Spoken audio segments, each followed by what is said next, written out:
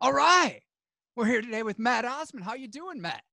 I'm very well. Young or Southpaw, whichever I should call you. Well, whichever, whichever you prefer. Mr. Southpaw, Southpaw. probably. Mr. Southpaw Yeah. sounds civilized. Okay, yeah, I'm very good, thank you. Glad to hear it. So I want to talk to you about your novel, The Ruins. Oh, good, good. The word base and the Yeah. word book each start with a B, each have four letters. Bass has four strings. How much was all this on your mind while you were writing The Ruins? Well, I think, you know, like most people, I chose my profession from, you know, a, a, the Penguin Book of Professions. You know what I mean? And I just ran through it and found bass player. And um, after a couple of years, when, you know, you know, bass playing was, was getting too small for me, I just went down the page a little further. And there was book writer. Um, next thing I think I'm going to be is, is, is a Bulgarian. So, I mean, that's, that, that's a career move to look forward to. This seems like it was all just set out for you. Like fate. Yeah, exactly, exactly. I'm, I am going to work my way uh, through through all the bees. Nice. That sounds like a very fulfilling life. Uh, yeah, I think so. I think so. Yeah, I, I don't know where it ends. You know, in, in a bywater somewhere, I suppose. In the I guess. Byzantine Empire. Oh man, that's good. Yeah. I don't think you can go past that. Exactly. That's the end of the bees. And you've got those lovely penguin editions behind you. That Yeah, yeah. All, all my books are color coded, which I think is a, a genuine sign of someone who doesn't actually read. You know what I mean? It's it's, it's books as a uh, as a as a as a decor more than anything. But Yeah, I do love an I do love an orange book. They are nice, yeah. I uh, hmm. Think brown though, maybe keeping with the bees. I don't think you get a lot of brown books. I'm Hearts, looking yeah. I'm looking around now at my list. You know, white is is big, blue seems to be popular, perhaps a bit 80s, but but not a lot of brown. I mean, perhaps that could be a an area for me to move into. The future is wide open. Yeah, brown, just brown books for people with for people with cream walls, I suppose. Yeah, and, put them next to the orange. You got a nice autumnal thing going on. Yeah, nice 70s look. Yeah, 70s Gucci. Yeah, I quite like it. Beautiful. Yeah. Now, the bass is usually like the anchor of the band. I mean, you've got you sit in with the groove, but you also have a melodic element going on. How did you find the process of writing as compared to making music? It's I don't know. It's it's it's a very strange thing actually. The comparison. I mean, the great thing about making music is is that it's really collaborative, Hmm. and you know, I, I work with I work with with guys who I've known, you know, in the case of Brett, most of my life. Um, so you're kind of brutally honest with each other. You know, if you make a mistake in in the studio, you know, someone immediately just goes, "Oh, for fuck's sake." You know what I mean, do that again. Or, you know, there's always someone kind of, you know, thinking about how you can do it better. Um, and that doesn't really happen in, in, in the book world. You know, if you make a mistake, you kind of double down on it over and over again until, you know, the whole book can hang on a terrible, terrible giant mistake. mistake. Yeah. And then, you know, kind of an editor says to you, oh, you know, did you realize, you know, this character says so and so when he shouldn't know it? And you're suddenly like, ah, right. So the last 400 pages will have to be redone. So it's, yeah, it's, I don't know, it's, it's slightly terrifying writing a book because everything hangs on, on you getting stuff right. But at, at the same time, you know, it's, at, at least it's entirely yours. You know, I mean, I love being a bass player. I love the kind of uh, anonymity of it but at the same time, you know, you get to a certain age where you kind of want to have something of your own. Hmm. Yes, that, that is profound. And you, well, thank you. I don't think I've ever been called profound before. You see, your standards are the standards are very low. Your standards of profundity. keeping with the profoundness, on page 70, you mention expecting the bass player to be there snaffling the free sandwiches. I mean, how much of it all is just about sandwiches for you? It's you know, I mean, not a huge amount. I'd say 65%. You know, I mean, when you get into it, you know, it's, yeah, it's girls and sandwiches really are, the main thing. It's, it's, one of the things about, about touring is that you get used to the idea of there being free food wherever you go. It's a real problem when I go on holiday because I'm used to, you know, the hotel having a breakfast that's paid for by the tour and the venues, especially European venues, Italian venues and Spanish venues, they have these amazing catering, you know, this massive paellas and loads of booze and stuff like that. Um, and it's turned me into the world's kind of meanest man. Because, uh, you know, I go on holiday and I'm there with my scrambled eggs and smoked salmon, and someone turns up and says, you know, that'll be $40. And I'm, I'm just looking around for, you know, where, where, where's the tour manager to sort this out? So yeah, you know, the free the free food is is is a real bonus. I know when bands get older, Neil from the Pet Shop Boys was saying that they basically, you know, they base their tours around good restaurants now.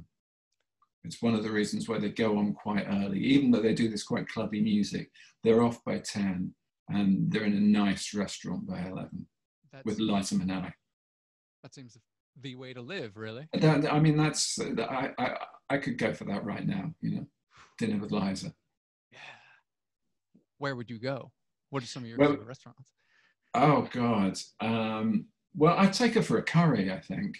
You know what I mean? I mean, one of the things that I yield to no man in uh, my admiration for American cuisine, um, but you can't do Indian food. I mean, it's just it's it's a terrible, terrible thing. And if I ever spend a lot of time in the states, th- there comes a point where I have to have proper Indian food. Um, so I'd take Liza, you know, I'd say whatever you've been eating when you've been out to Indian food in the States, it's not right. This is how it should be. It should be swimming, swimming in fat, and it should be kind of bright orange, unidentifiable, unidentifiable matter in the middle of it, and it should be hotter than the sun, and that's that's all you need. So yeah, I'd take us to the Canas Tandoori on, on my street and, and treat us to, to some poppadoms and a, a prawn dhansak. Wow. I, I hesitate to even bring this up, but uh, how do you feel about Americans making tea? Um, well, you just can't, to be honest. I mean, I mean, it's something that we've been training for in Britain from from from birth. You know what I mean? Uh, you know, most I think most children, the first the first thing they're taught by their parents is, you know, potty training, and then the importance of, of warming the, the, the, the, the jug and the cups before you pour your tea. You know, I mean, the kind of ritual element of it and the importance of certain temperatures. And you know, you have a different temperature for black tea and green tea and all these kind of things.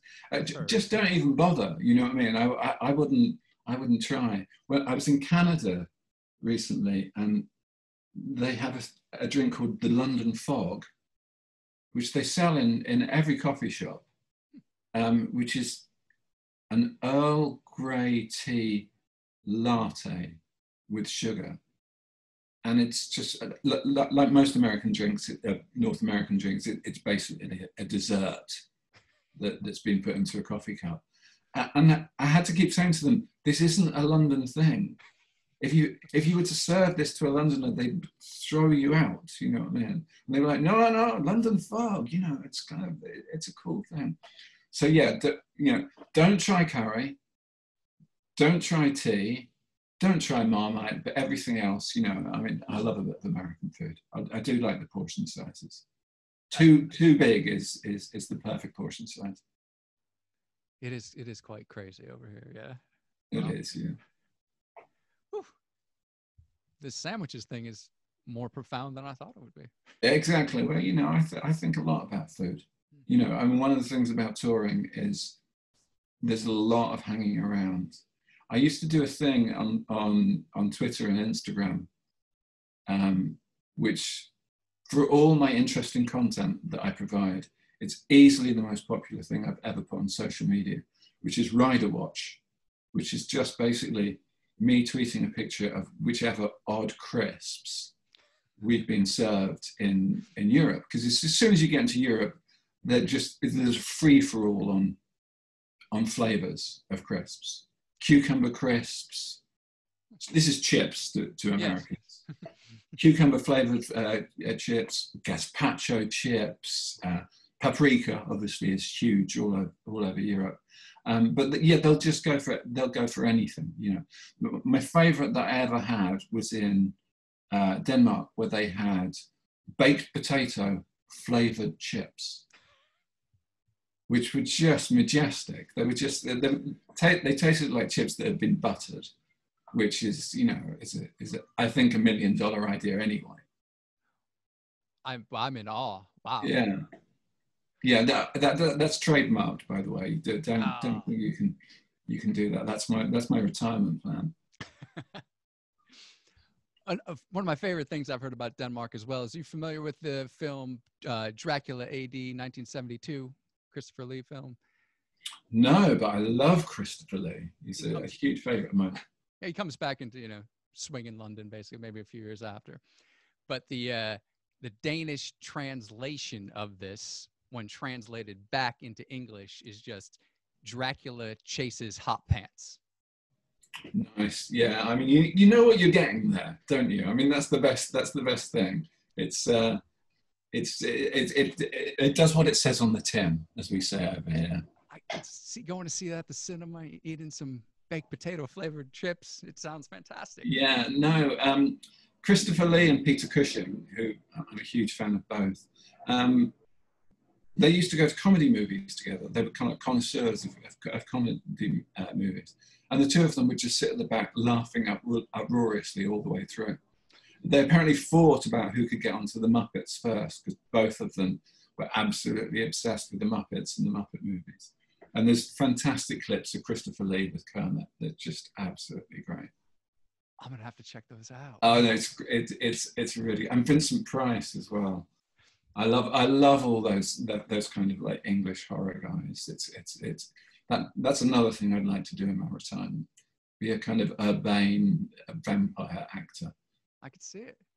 Yeah, no, I've got the I've got the hairline for it. I just watched. Uh, I've I've been watching a Diana Rigg film every night. I just watched Theater of Blood the other night with uh, Vincent oh, Price. Fantastic, fantastic. yeah. And I guess yeah, I mean that's some proper scenery chewing for acting there. Yeah. No, he's great. And I guess I have the great Muppet Caper on the list as well if I'm going to do them all. I, I, mean, I took I took my nieces to see um, the Muppets Christmas Carol uh, a couple of years ago, and it's really interesting because I, I, I mean I love Dickens. Um, it's about the most faithful version of a Christmas Carol there is because it's a story that's been told so many times, everyone now kind of messes with it a little bit and messes with the timeline and stuff. And weirdly, although the Muppets has, you know, pigs and rats and frogs as the main characters, in terms of the story, it's just it's it's pure it's pure Dickens. I, th- I think they've done the best version of it. I think I think Charles Dickens would approve. I wonder if that's what he had in mind in the first place, but it was just too. Yeah, he probably did, and then he was just like, "No one's going to buy it if I put a frog in as, as Bob Cratchit." So you know, I'll just I'll just keep it as humans for now. Yeah, that's, that's probably exactly what happened. When he turned up to his agent, I've got a brilliant idea. There's this kind of brassy female pig as one of the main characters. That's the public. And his agent's just like, Charles, you know what your public likes. You know what I mean? Ah, it's what might have been, you know? Yeah, exactly.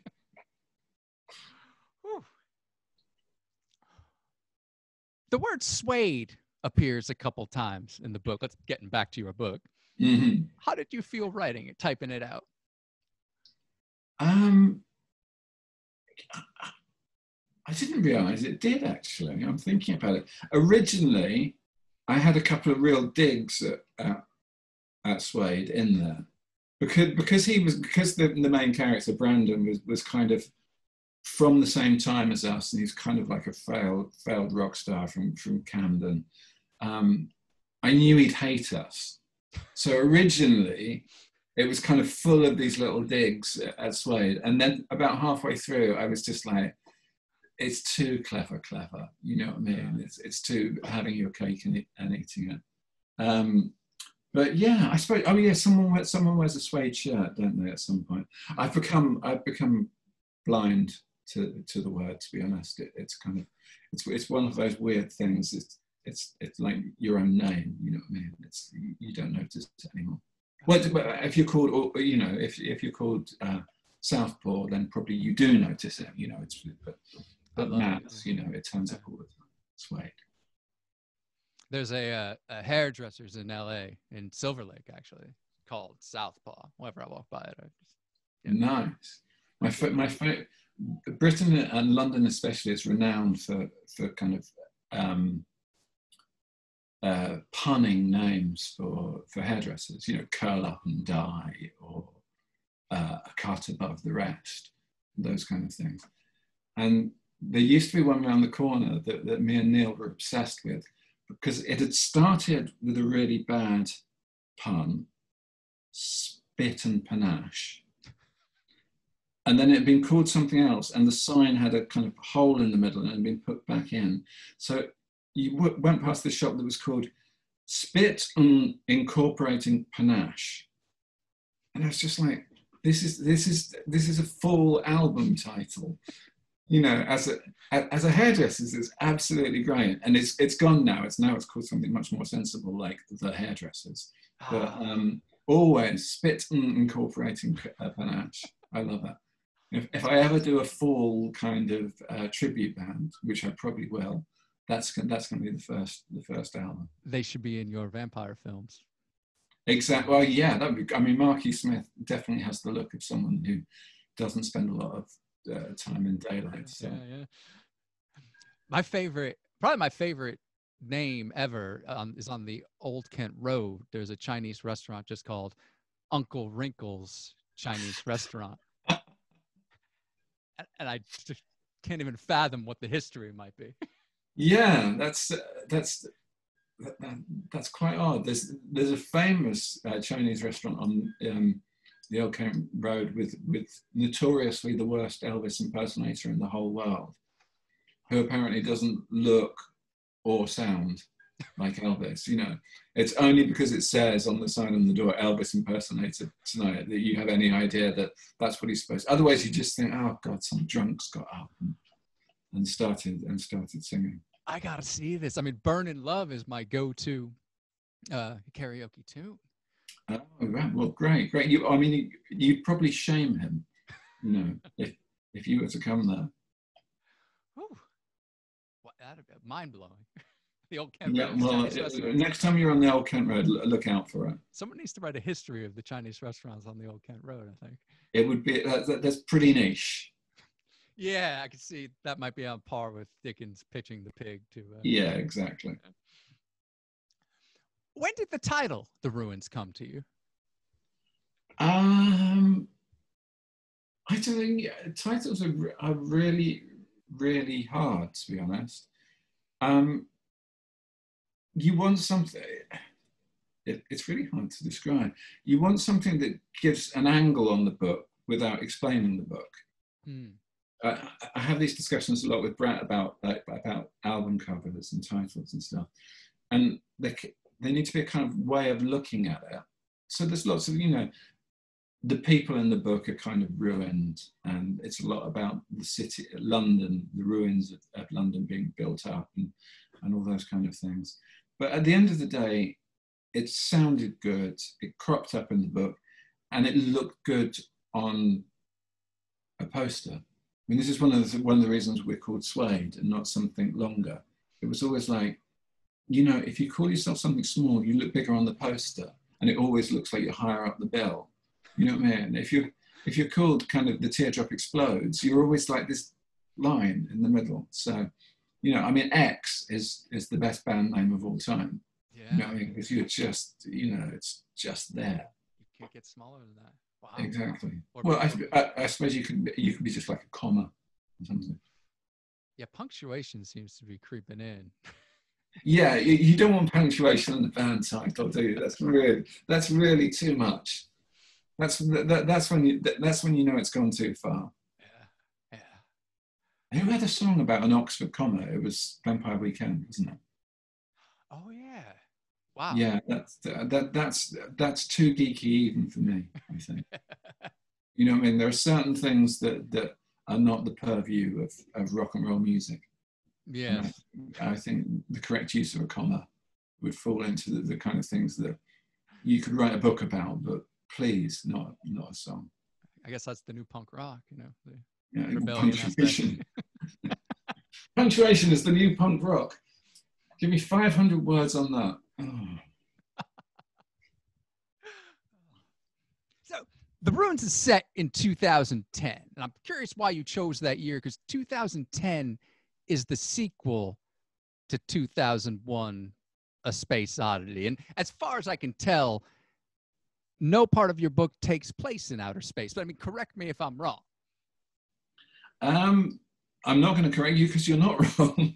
There's mention of the voyager space spacecraft at, at one point so there's a, a mention of, of outer space but um, but no, no, it, everyone is is breathing God's God's air on God's green earth in the book. Uh, uh, the reason it's set then was I was I was working on a, a very strange project, a kind of live action TV show come theatre project uh, called The Conspiracy for Good with uh, a guy called Tim Kring, who's the guy who wrote Heroes, that TV show. Okay. And he came over to London and we were working on this project together. And then we had the Icelandic earthquakes, uh, not earthquakes, volcanoes, and everyone was trapped here. And it was this really weird time when no one could really do anything, and everyone was forced to kind of make stuff. And and you know, instead of having endless meetings and flying back and forth, they actually sat and wrote. You know, and at the time I thought there is never going to be a situation more bizarre and where people feel more trapped than a few planes being cancelled in, in, in 2010. And then, you know, the book comes out and suddenly the entire world is, is locked down. So um, I'm claiming it as a kind of, you know, prefiguration of the times, you know, and, and you should obviously run out and buy the ruins because, you know, it tells you something about these straitened times. Ooh, Your listeners can't see that my fingers are crossed as, as I'm saying that. Dang, the conspiracy for good. I, I someone mentioned that recently, like with everything flying around the internet. It was, like, it, was a, it was an absolutely insane project. It really was. The main people doing it were these these uh, these Swedish LARPers. You know LARPers? No. Live, Live action, action role playing. Yeah, wow. These guys were absolutely nuts. I mean, they finished this huge project where they kind of lived as hobos and spies for, for eight weeks. And then they went home and for, for fun, um, they did this LARP, which was set in a quarry in northern Sweden, where half of them were, were kind of um, guards and half of them were slaves. So they paid their kind of 5,000 krona, and half of them spent the time literally breaking rocks while, while their friends shouted at them. And they did this for play. They were they were genuine. That they're, a lovely, lovely bunch. They're they're all absolutely nuts. The the thing that the first time I met one of them, a guy called Martin Ericsson, who runs lots of lots of big, um, insane LARPing projects. He said the most Swedish thing anyone has ever said to me. He was talking about um, uh, medieval week in Sweden which is like the Renaissance fairs in, in America, but taken incredibly seriously. You know what I mean? These people, you know, they plan for weeks and, and they live in, in totally medieval times. And he said to me, I was saying, was it fun? And he said, ah, the thing is, I was, at one point, I was having a threesome in the open air and I looked down and this girl had dyed her pubic hair blue And all I could think is, that's anachronistic. and you know, he kind of said it to me, and I was just like, okay, fine. I I have a handle now on on the way your mind works. Um, but yeah, I spent a lot of time with, with those guys, and and uh, they're absolutely fantastic. One of them is now a full time Harry Potter wizard at one of the Harry Potter worlds. One of them lives as a vampire, and the rest of them, God knows where they are, in some cave somewhere. Lovely vampire. Guys. We've got the cast building up the cast. Yeah, exactly. Oh, yeah. There's vampires everywhere you look. I didn't realize, but I keep coming back to them. The uh, speaking of threesomes, kind of. uh, Adam and Brandon are twins. It's like I was wondering how familiar, not in a naughty way, but how familiar how are you? Familiar are you with twins? Um, my my nieces are twins. Oh. Um, I've got two, two nieces who are, who are, ten years old, and they're twins. Um, and yeah, they were they were a total inspiration for the book in a way because what's fascinating about them is that they're really similar, but you have to kind of um, you have to kind of play them off each other. You have to have them as, as oppositional to understand them. So one's the quiet one and one's the noisy one, one's the academic one and one's the sporty one. And you do these things, and in terms of the whole world, they're both noisy and they're both academic. But just because it's the way the human mind works, you kind of force. Hello? What's going on? well, yeah, I have to, I have twin twin nieces who are both ten years old, and they were a total inspiration for it because there's this this strange process that because um, because they're really similar, the little differences between them become really important and you find yourself saying, um, okay, so she's the sporty one, she's the academic one, she's the noisy one, she's the quiet one. And on the, the curve of human beings, they sit in the same place. But you almost force them um, to wear their badges of difference. And I thought it was really interesting to, you know, the, the, the two characters, the two brothers, when they start off, you think, oh my God, they're, they're completely opposite. One's bookish and quiet, and one's this kind of, you know, extravagant, outgoing kind of uh, musician. Um, but as you get further into it, you suddenly realize that at their heart, they're really similar. They're really, they're, they want to control their world. They want to be in charge of their world. They've just chosen very different ways of doing it. So, um, so you know, that, that, that, that was a total inspiration for it.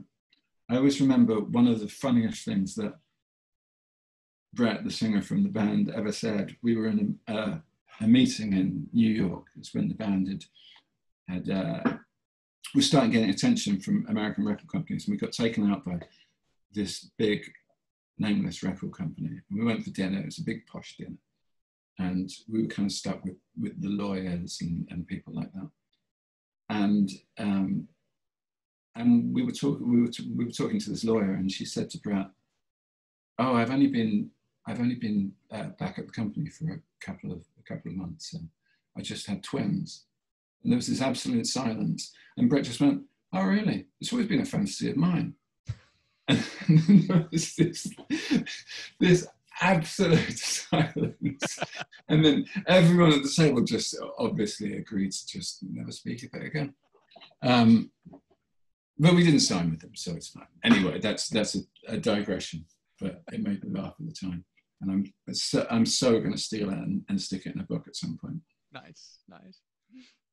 Now, in the book as well, like London and Los Angeles are twinned. How yeah. familiar are you with LA? I love LA. I go there a lot. I got I got married in LA. Ah. Um, uh, yeah, no, I, I, I spend a lot of time there, and I always think that that London and LA are kind of as different cities as you can possibly get. You know, I kind of I love New York as well, but in a way, there's no point going there if you're from London. You know, it's it's like London with with better Chinese food. You know, it's it's just it's virtually the same. You know what I mean? The, the kind of the emphasis is the same. But LA is the is the anti-London. You know what I mean? It has no centre. The weather's always good. You can't walk anywhere. I mean, London is is the ultimate walking city. You know, it's it's straight lines, all these kind of weird things. And London is, is you know, you, you need to be kind of like a uh, a magician to even you know uh, find your way around. So I go to LA a lot as a as a um, almost like a, an antidote to to London. You know, I don't know whether I could live in LA. I think it would drive me mad. Yeah, but I do, I do, I do love it. I, I, I kind of love the fact that that you can be, you know, you can go from this urban center to the beach or to the desert or to the forest or to the mountains in like an hour. It just it seems absolutely nuts. I mean, British people are always really sniffy about Americans not having passports.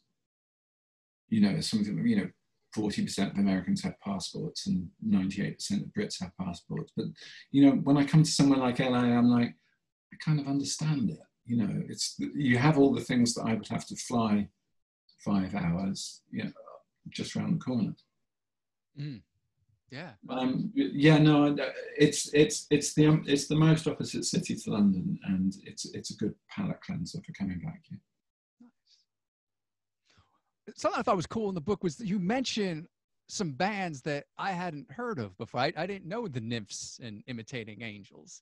Um, the Nymphs, the Nymphs are renowned for for um, when we were when we were trying to sign um, an American label, Geffen um, had had just signed them, and the lead singer is renowned for squatting on Tom Zutaut's desk uh, and peeing all over it, and in some kind of in some kind of protest again. I can't even remember what it was a protest. He told us this kind of like just absolutely shocked, and um, it's it's one of my, my one of my best memories of the first time we went there. It's actually it's a banger that single, "Imitating Angels." Everything else they did is terrible, but it's a great it's it's a, it's a great great record, great LA record.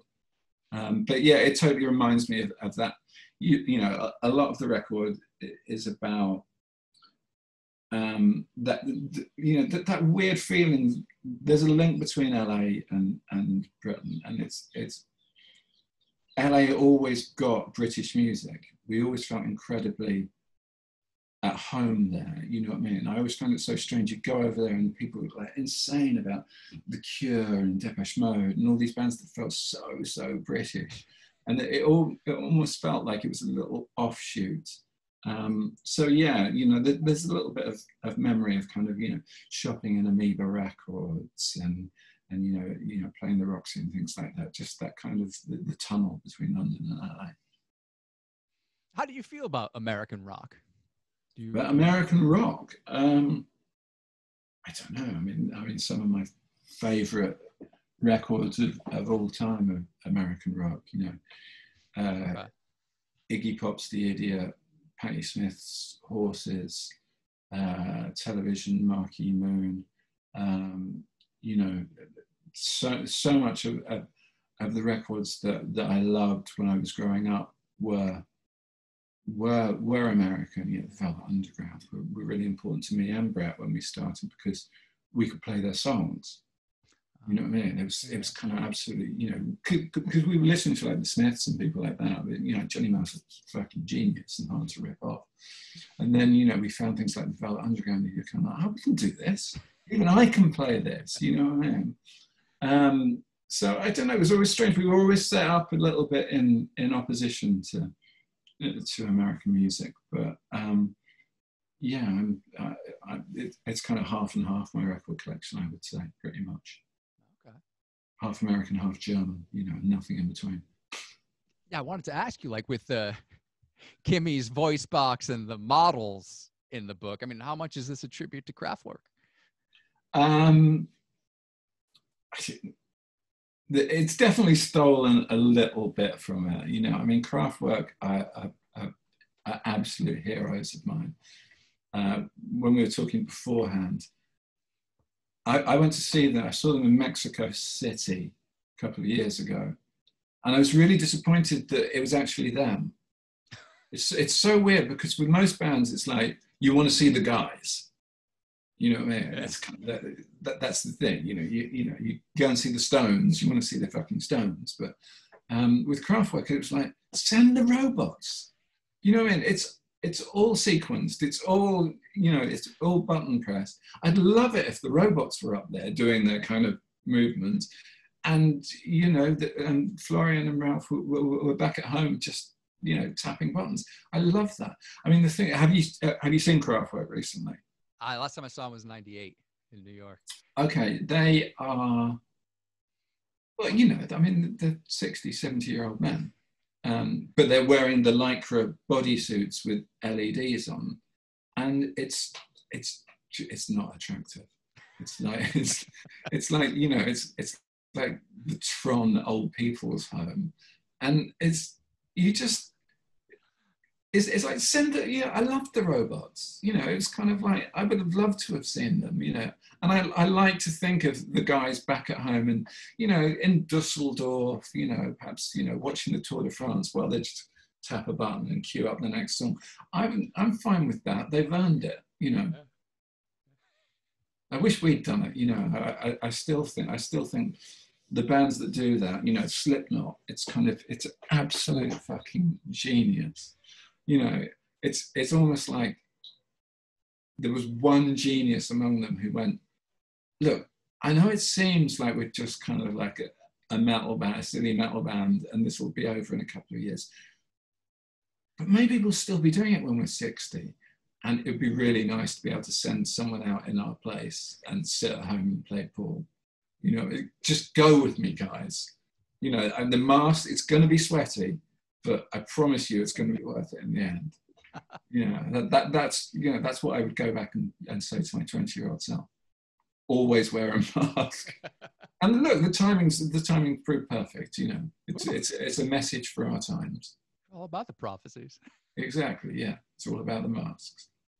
How much do you share Brandon's uh, fascination with the occult? Like he's mentioned John Dee in the book. And... Um, it's it, you know what it's it's it's really strange. I I was fascinated by all that stuff when I was younger, hmm. uh, like horoscopes and, and and all those kind of things.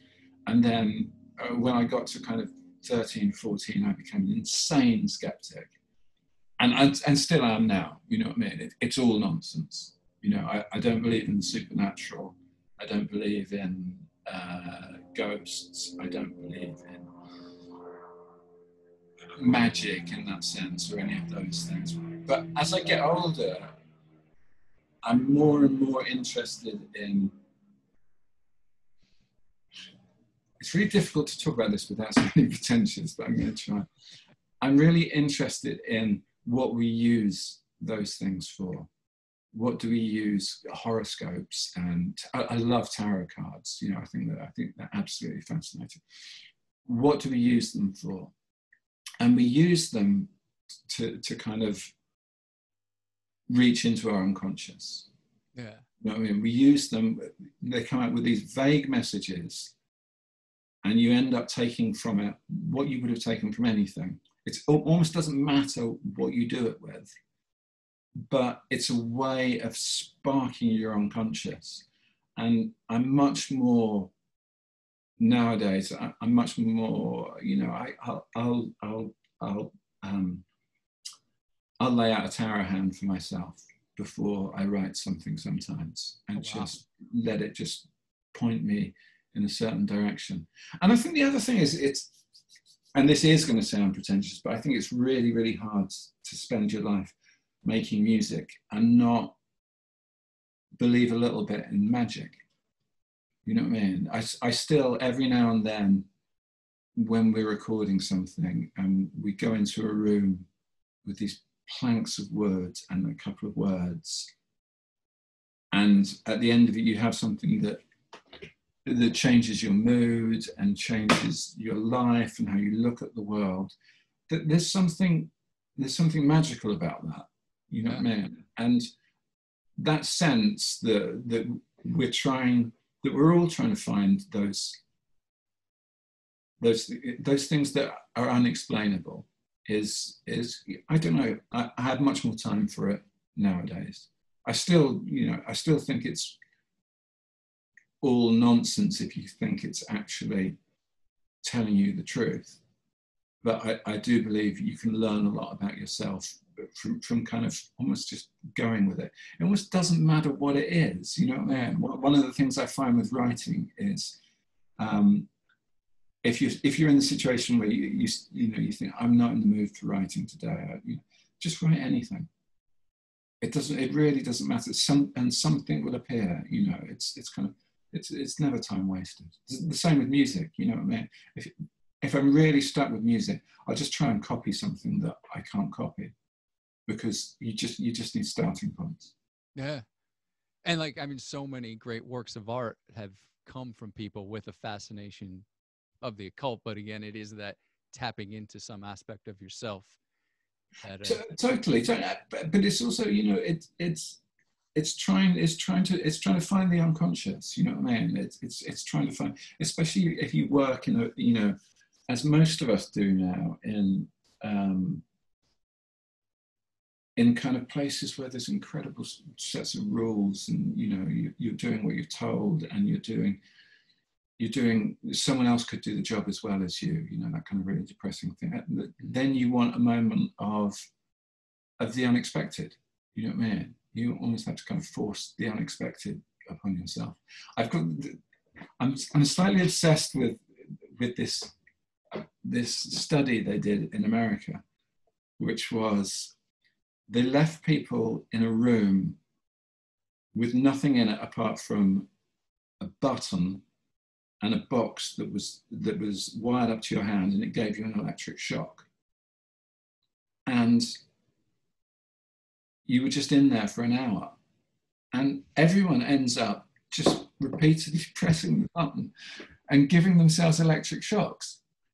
And you're like but why? It hurts. And it's because we'd rather have something new and something unexpected than nothing you know, it, it doesn't really matter what it is or whether it's any good. I, I think about this all the time because it says something really profound and probably quite depressing about human nature. Really but you know, I often think it when I'm sitting writing. You know, I'm just sitting there pressing that fucking button.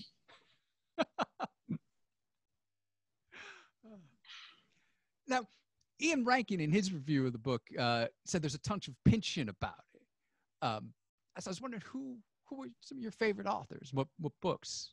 I mean, I love Pynchon, and I'm incredibly, incredibly flattered by that. You know, it's kind of to have a writer who I love, Ian Rankin, compare me to another writer who I love is, you know, it's it's a good double whammy. Um, who do I love? There's a guy called Michel Faber, who I really love. He wrote a book called Under the Skin, which is like a, a weird sci-fi thing that got made into a, a really good movie actually with um, can't remember her name. There's a, it's Jonathan Jonathan Glazer did that. Very odd. It's about a, a, kind of alien who kills hitchhikers. It's done really um, kind of matter of fact. And then he wrote a huge Victorian novel for his next thing. He's one of these people who just I love people who, who kind of flip between genres and don't really sit anywhere. Uh, not normal. I like Michael Chabon a lot. A lot. Okay. You know what I mean? I love the fact that he went from the Wonder Boys, which is, you know, this great little kind of tableau of, of, of fucked American life, to then Kavalier and Clay, which is this, you know, this huge history of comic books and this.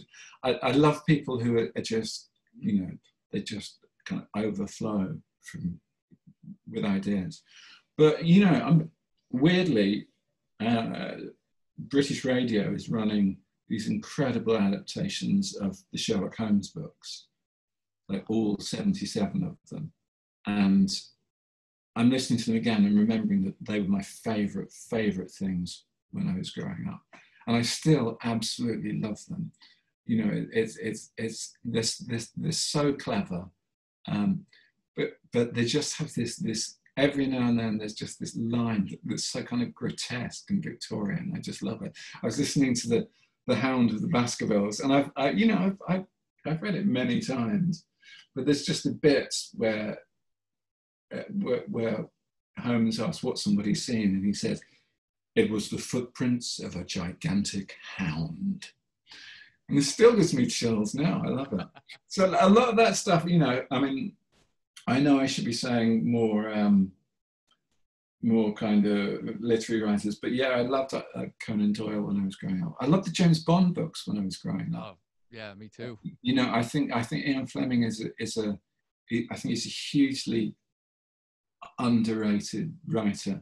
And he said my favorite thing about about writing. One of the things when you write a book is people send you um, what authors have said about writing and how you should write.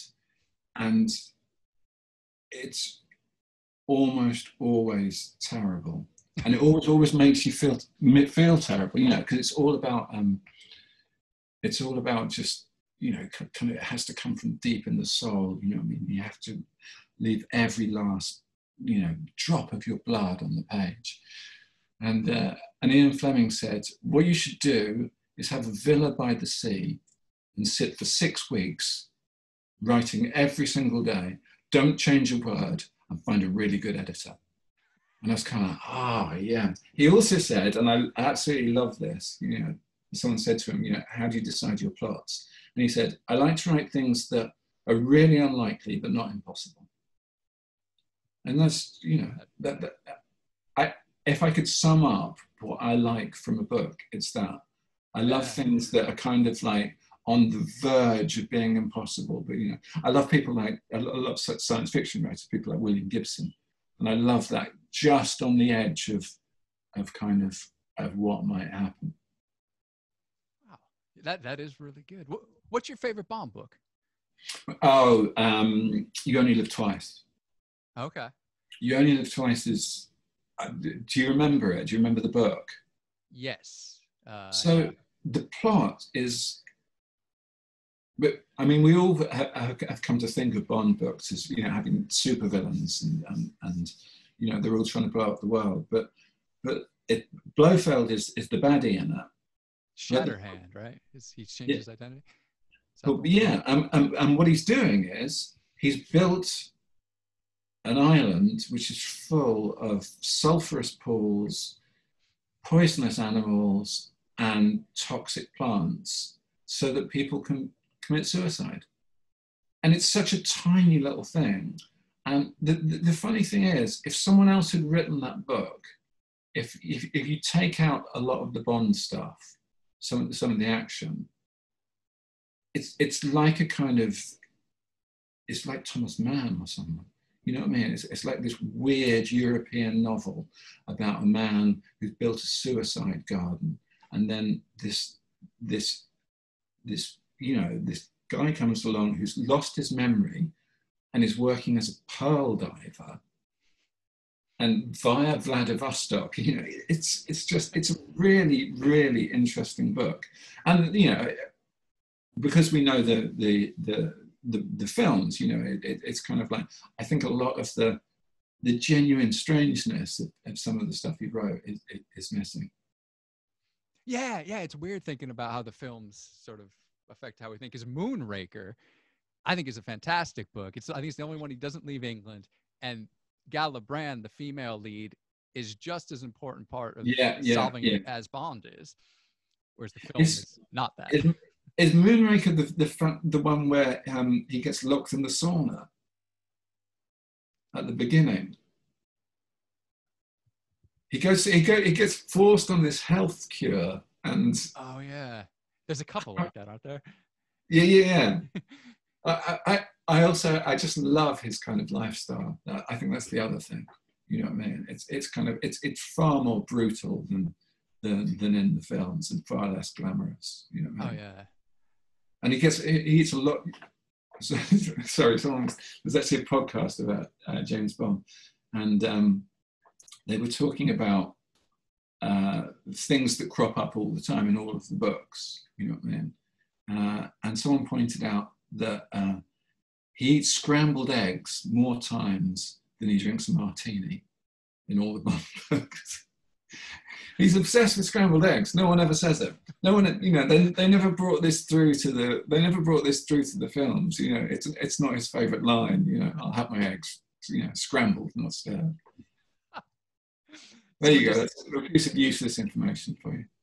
Someone just sent me a link. Uh, some medical study did, as their, for their Christmas magazine did a study of uh, how much he actually drinks, and it's like uh-huh. 92 units a week. nice. And the only days he isn't drinking is when he's held captive. exactly. Yeah, they should at least they should at least give him a, a martini for the DTs, shouldn't they? When he's being uh, when he's being tied up and some scrambled eggs. And some scra- and obviously some scrambled eggs. Yeah. So you're working on your second novel now. I am. Yeah, I'm kind of. I'm kind of deeply in it, but not sure whether I've taken the wrong turn at some point. So it's it's it's it's it's, it, it's either almost finished or just started. It's, it's the, oh, yeah. Is there anything about the uh, difficult second album syndrome about doing it? Oh yeah, totally. You know, I mean, the, the, the first book is is very much you know the characters are me. You know, they're they're who I would be if I if I'd been a singer rather than a bass player, uh, who who I would be if I'd never had to work. You know what I mean? It's it's it's kind of they're just you know there, but for the grace of God go on. Um, but I kind of wanted to write something that was entirely out of my comfort zone, thinking that I could. so, so it's a book about it's a book about uh, Elizabethan child actors. So it's um, it's it, it's it's a long way away. It, it, it's actually fascinating that there was a there's a troupe of, of child actors, you know, kind of teenagers called the Blackfriars Boys in 1600, 1602, around there who acted in these incredibly political, really sexual plays. And, you know, it, it, was kind of, it was the done thing to go and see them, you know what I mean? It's, it's, it's quite extreme, you know, and they were kind of, um, they were banned and it kind of fomented rebellion and apprentices rebellion. Um, but they're, in a weird way, they're like a kind of like really early rock stars. You know what I mean? They're, they're kind of despised as being lower than whores, and at the same time, kind of worshipped by by the kind of street kids and stuff. So they, they just appeal to me. But it's it's hard work, and I've, I've given up on doing any kind of um, research or using the historical language. That's, that's the thing I can't stand you know, once a forsooth creeps in there, it's like, fuck it, I'm not interested.